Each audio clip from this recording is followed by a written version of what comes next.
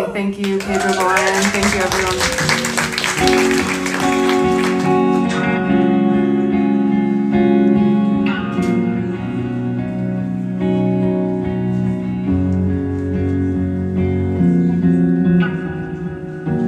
Take